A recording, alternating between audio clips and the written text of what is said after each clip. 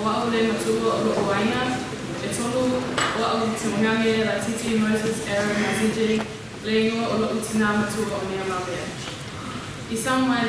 o Sifune Ma. Hello everyone, um, my name is Stacey, my mum is Eva my dad is Zach Abiel. I'm the oldest of my family, I have three younger brothers, Moses, EJ, and Era. Um, my grandma's name is Nema Mea, and she comes from the villages of Sifune and Vailua Palawi in Samoa. For those of you who don't know, it's Samoan Language Week, and this year's theme is Paupau le Loto i Fale o le Manuia le Ano Fale, which means to strengthen, to strengthen the post of the house for order pride. So like a fale, which is a house, our individual and collective resilience can be measured by our building posts that keep us grounded through the inevitable ups and downs of everyday life. These posts are languages, cultures, and traditions which are reinforced by our families, schools, and cultures. Paupau le lotu i fale o manuia le ana fale reminds us that coming together to celebrate the Samoan culture will strengthen our gagana Samoa and bring positive benefits for New Zealanders. These benefits will not only be felt now, but in the future. Gagana Samoa is the third most spoken language in Aotearoa behind English and Te Reo Māori. It is crucial that our Gagana Samoa continues to be used by Samoans in New Zealand and is passed on to the generations to come. Although it's great that many speak Gagana Samoa, we should still actively nurture the language so that our New Zealand-born Samoans grow up with an understanding of the unique culture and the traditions that provide a foundation for their life. For me, I'm half Samoan and half Palagi, which is New Zealand European, and although I didn't grow up in fully understanding the language, when around my Nina Samoan family, I feel the lupa, which uh, means love. I enjoy the little things like singing and praying in Samoan, eating the traditional foods, dancing, and occasionally going to church even though I have no idea what they're saying. Whenever I'm around my culture, it feels like. Um, but it wasn't always like that. When I was younger, I used to not be as confident with my culture because I moved around a lot, and um, most of the towns I went to, there wasn't many Samoans or Polynesians. But the older I got, I started to love my culture more, and that's why um, I'm really, like, today I'm like, really honoured to be here and speak about my culture, because Marsden is a small town, there's not many Polynesians, but I just hope for the best for my uh, yeah, culture. So anyway, thank you, and now I would like to invite our Samoan band up to the stage.